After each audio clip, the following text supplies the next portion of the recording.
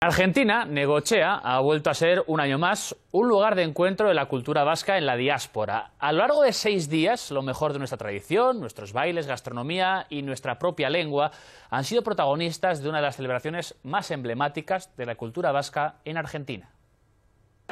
Por unos días, la ciudad de Necochea se ha convertido en el octavo real. Aquí se ha celebrado la Semana Nacional Vasca, que ha reunido a más de un millar de personas. El euskera ha tenido un espacio importante en esta Semana Vasca. El Minzódromo ha dado muestras de que nuestra lengua está viva a miles de kilómetros de Euskal Herria. Ikusten da jendeak dakila hitz egiten edo behintzat e, burua aurkezten. Bai, bai, ni nekotxeago naiz eta hemengo euskaletxean jaio nintzen. Euskal Herria osoa ezagutzeko oso aukera polita da euskara ikastea. Los vascos de Argentina y de otros países han tomado las calles de Necochea, tamborrada, calejiras y espectáculos de danzas que han ofrecido los más de 20 grupos de Euskal Danzak han dejado en evidencia el sentimiento hacia la cultura vasca en Argentina. Los jóvenes vasco-argentinos se muestran orgullosos de su sangre vasca y no ocultan ese sentimiento de pertenencia.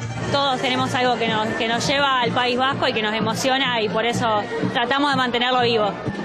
Ser danzar es algo magnífico, es algo que te sale de la sangre. Siempre con el volverás con el tiempo y ves más centros vascos y más activos. El gobierno de Gasteiz estuvo representado por el consejero de Educación, Joaquín Bildarratz, quien ofreció una charla sobre la actualidad de Euskadi. Emozioa, ez? zenbat sentimendu azalarazten diran eta ze kultura zenbat jende. El grupo Layotz también se ha sumado a esta fiesta animando las romerías y Aukeran Danza Compañía emocionó a los vascos de la diáspora con su espectáculo Migratzailea.